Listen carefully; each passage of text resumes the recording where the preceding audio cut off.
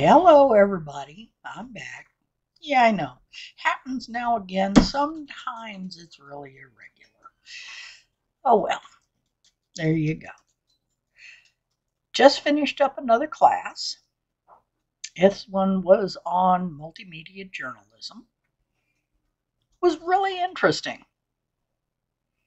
Especially when they told us to take the Frost Nixon interview and kind of rework some blurb and add image for it to relate to today, you know, do something that's like either for Facebook or Twitter or something like that. That was fun.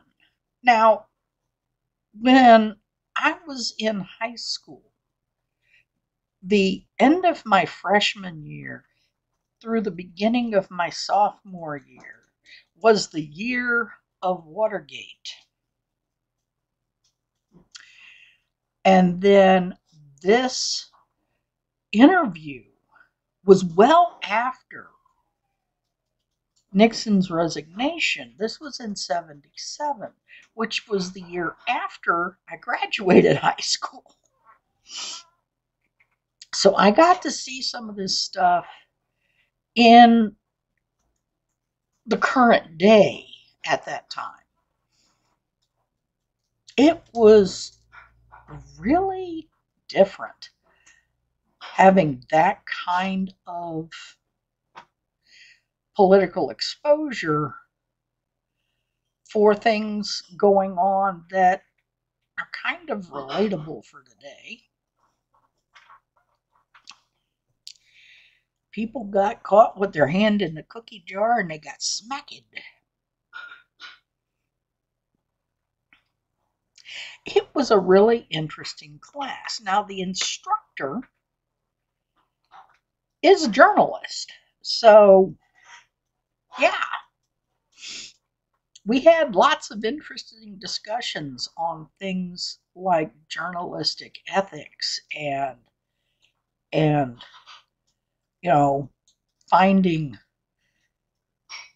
sources that were legitimate and telling the truth, not just something you made up, which seems to be a problem we're having currently with some of the journalists just like making it up as they go along. I mean, not so long ago, we had a journalist who made up the story of a child. And this story actually got a Pulitzer Prize. And it was a complete and utter fabrication. Same problem I'm having with the people that are claiming to be a person of color when they're not. And then after they've done all of this work under that particular concept of that's who they are, then they're having to come out and go, oh, yeah, by the way, yeah, not so much. What are these people thinking? End of current events rant for the time being. I loved that class though. Came out of, out of it with an A minus. I decided that was pretty good, so I'm just like cruising along here. Um, come November 1st, I will be entering the NaNoWriMo National Novel Writing Month. NaNoWriMo. I have won it two years. I have blown it several more than that. But I like the challenge. The challenge is 50,000 words written in 30 days. Now they've broken it up some so that people who really just do not have a flexible enough schedule for things like having to go to family and all this other stuff for Thanksgiving or whatever can start like October if they want, but they still only have 30 days to hit that mark. 06 and 07, I made it. But in 06 and 07, it was just me and the old man in one place. Made it a lot easier. I wasn't in school at that point. I didn't have grandkids running around the house. All of that. But since I'm coming down to finish work on the first book that I am determined to publish.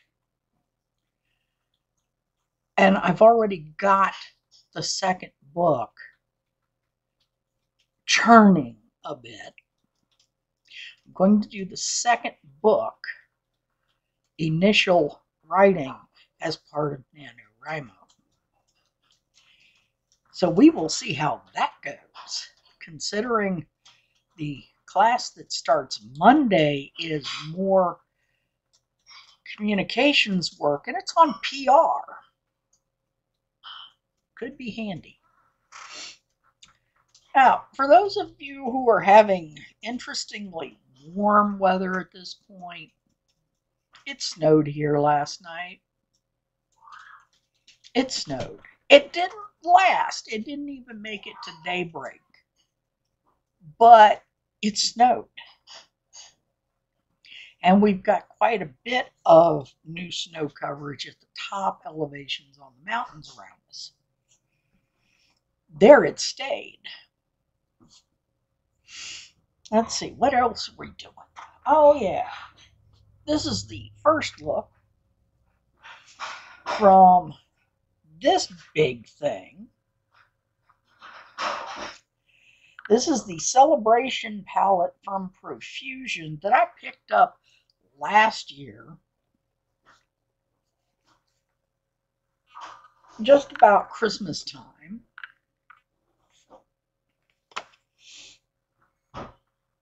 And I barely used it. Now, granted, this is a lot of colors, but I like them. Now, this box, which, you know, looked really good on the, the Christmas gift shelf, this whole thing was originally 15 bucks, and when I picked it up, it was just after Christmas on sale. so I paid 7.50 for this. But this box is like seriously bulky.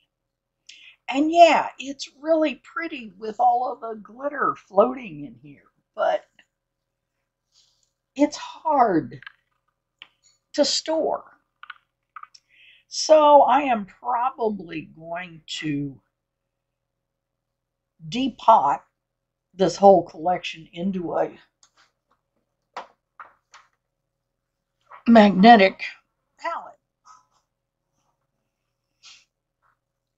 There you go. What you think? The Celebration palette is going to be my new three looks one palette.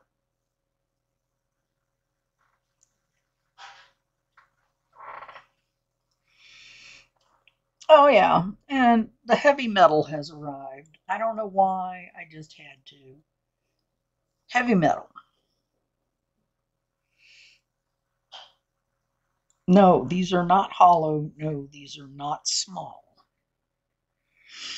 Yes, they've got some weight to them because I felt like it.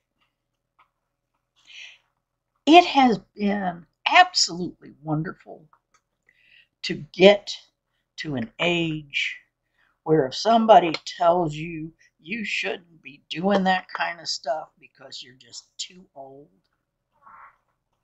You can tell them to step off because you've earned the ability to do anything you want.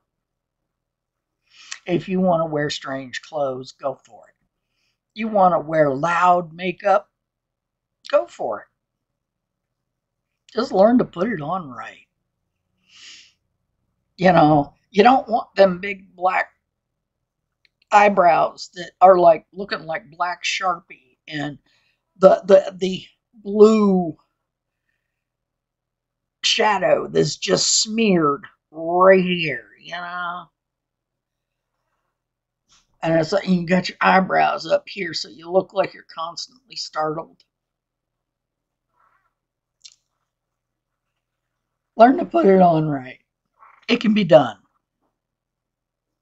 Is this perfect? No. Does it look appropriate? Think so. Is it colors other than what some people think mature women should wear? Oh, yeah, you betcha. Bring them on. Let them come tell me. Let them try and take my earrings away. Let them try and tell me I shouldn't have my hair so short. Come on. Come on.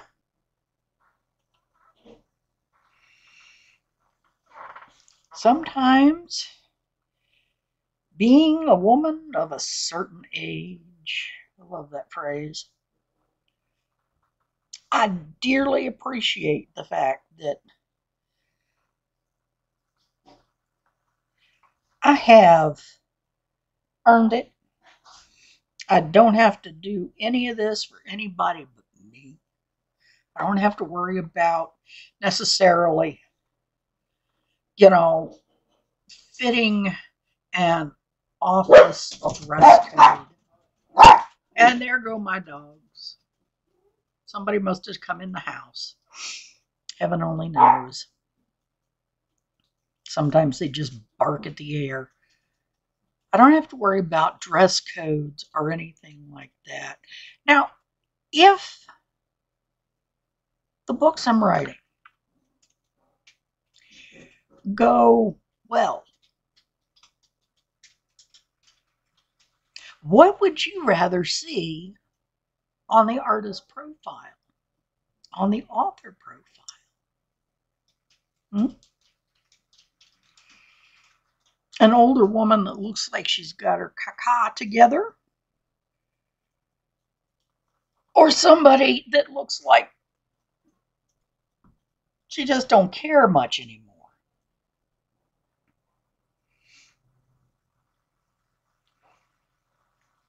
I'm going to look glam shabam in the art in the author profiles. Hopefully somebody will actually read the books.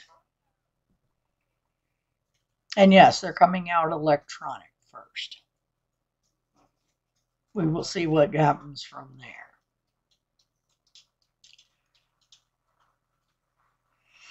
Well, this is kind of just a update thing, letting you know what I'm doing with the three looks, one palette, and which palette and letting you know where class is and where I might disappear to come November.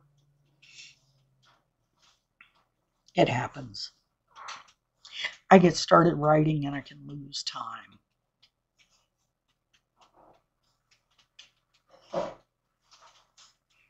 No, I didn't put the falsies on today. I didn't feel like it because I'm going to turn around, put my glasses on, and go back to writing. Tell me what you think. Go vote. There's still time. go and do this. If you can vote early, do it. If you vote by mail in a state like Oregon, where they've been voting by mail for a long time. and it has worked beautifully since we've been here. And you know where your drop boxes are. Go to your drop box. If you're close enough to your courthouse, go to the courthouse and drop it off with the clerk.